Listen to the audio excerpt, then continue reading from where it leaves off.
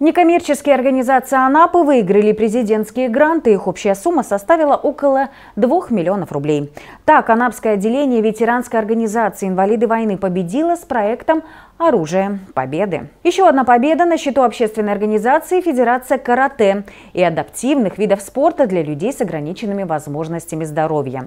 Участниками проекта станут не менее 100 учеников коррекционных школ Анапы. Также победу одержала общественная организация Федерация спортивной акробатики Анапы с проектом «Акростарт», который позволит 24 детям из малоимущих и многодетных семей в течение пяти месяцев безвозмездно посещать оздоровительные занятия по спортивной акробатике с возможной перспективой поступления на бюджетные тренировки.